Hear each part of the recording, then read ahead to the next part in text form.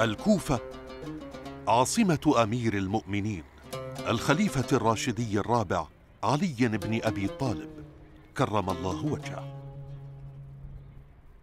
تقع اليوم على الضفة اليمنى لنهر الفرات الأوسط شرق مدينة النجف بنحو عشرة كيلومترات وغرب العاصمة بغداد بنحو 156 كيلومترا.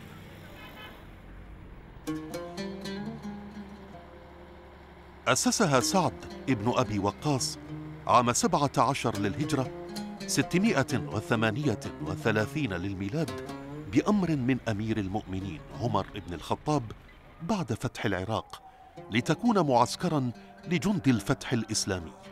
بعد أن لبت مطالب عمر رضي الله عنه بأن تكون في موضع لا يفصلها عن المدينة المنورة بحر ولا عارض. سميت سورستان وخد العذراء وعرفت بالكوفة من التكوف أو التجمع والاستدارة حيث كانت كوفة الجند الذين مضوا في الفتوحات الإسلامية منها شرقا. كانت مدينة واسعة كبيرة احتوت خمسين ألف دار للعرب وأربعة وعشرين ألف دار لغير العرب.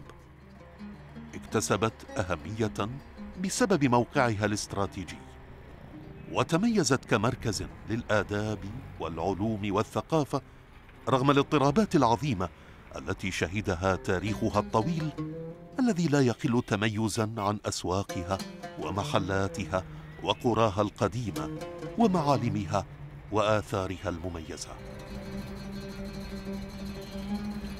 اقتضت القاعدة عند إنشاء أي مدينة إسلامية أن يؤسس المسجد الجامع أولاً. وهكذا أمر مؤسسها سعد ابن أبي وقاص أحد الرماة فأطلق سهاما في الاتجاهات الأربعة محددا أبعاد المسجد الذي كان نواة المدينة الجديدة ومركزها.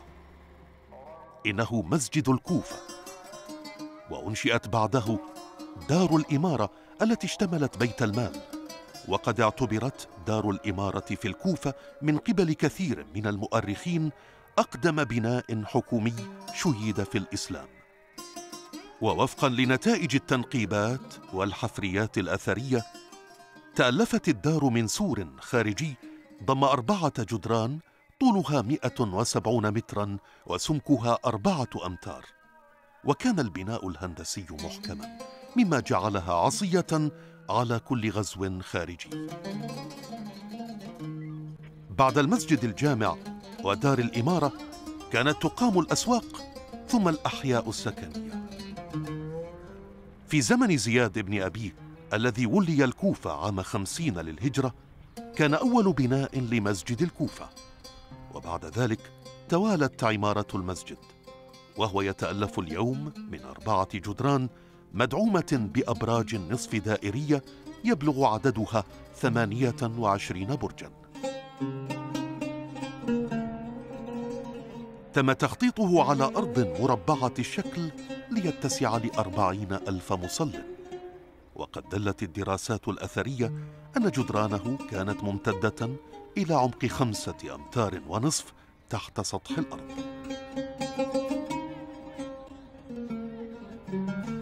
الأسوار الحالية التي تحيط بالمسجد عمرها يزيد على سبعمائة عام وترتفع عن سطح الأرض عشرة أمتار. للمسجد عدة أبواب منها تاريخية ومنها حديثة كباب الحجة وباب الرحمة اللذين بنيا في نهايات القرن الماضي. وكذلك برج الساعة الذي يزين المشهد العام. لهذا المكان الروحاني فهو يعود لستينيات القرن الماضي.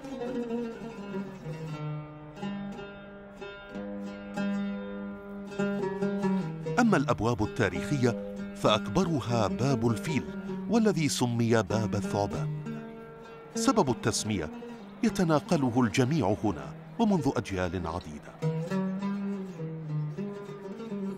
فذات يوم كان الإمام علي كرم الله وجهه على المنبر يخطب في الناس. فإذا بثعبان ضخم يدخل من الباب. فزع الناس. فطمأنهم علي كرم الله وجهه. تقدم الثعبان وصعد المنبر. فأنزل علي رأسه ليهمس الثعبان في أذنه.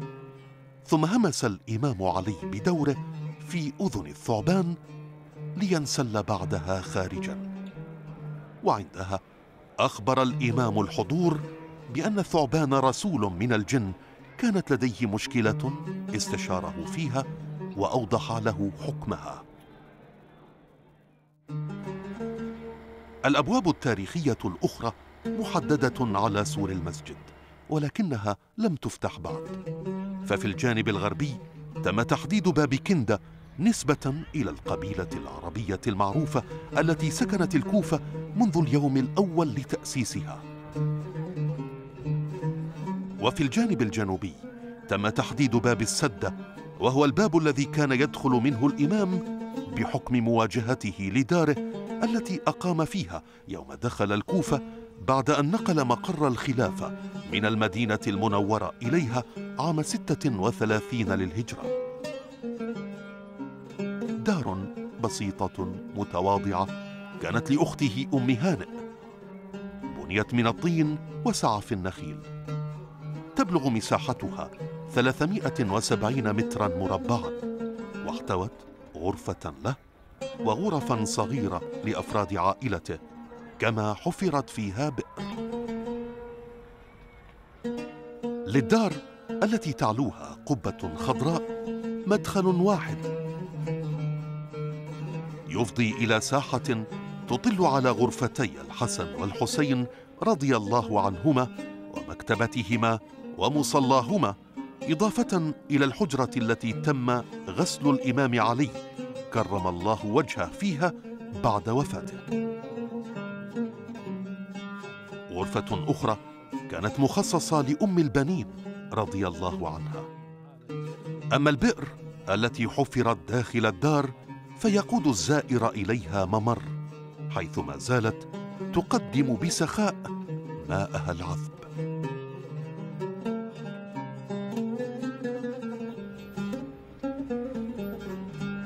الأسواق كانت تحيط بدار الإمارة ودار الإمام وكانت مقسمة حسب المهن. كان كرم الله وجهه يجلس في دكاكينها يراقب حركة السوق والبيع والشراء. وفي أحيان كثيرة يطوف فيها وهو يقول اتقوا الله وأوفوا الكيل. تعددت أسواق الكوفة وتنوعت بما ينسجم مع تنوع ما يحتاجه الناس.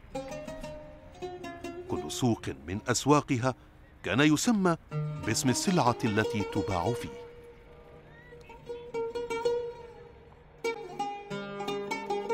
الكثير من وصف ابن بطوطة للمسجد يمكن رؤيته ماثلا اليوم من قبل الزوار الذين يزيد عددهم على خمسة عشر ألف زائر يوميا وإن كان بعضه بطراز حديث وفن معماري جديد.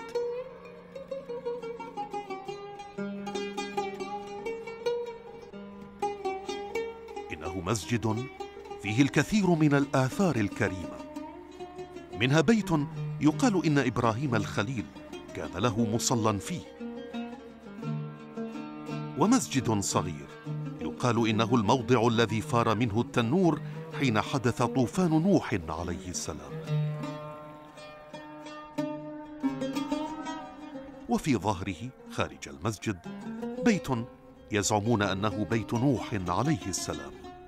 وإزاءه بيت يقال إنه كان متعبد إدريس عليه السلام. وهناك فضاء متصل بالجدار القبلي للمسجد يقال إنه موضع إنشاء سفينة نوح عليه السلام.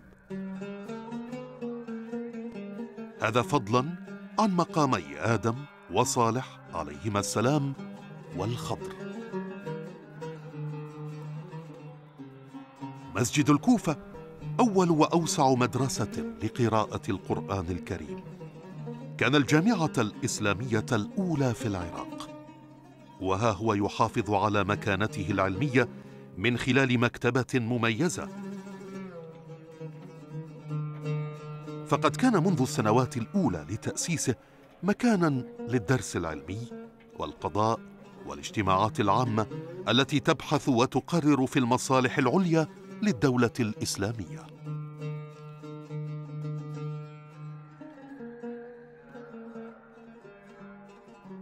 ترميم وصيانة مرافقه يتمان في عمليات مستمرة وبشكل يومي ولا تنتهي إلا مع غروب الشمس على أمل أن تشرق من جديد والمسجد رمز كما كان لما يمثل المصالح العليا للمسلمين.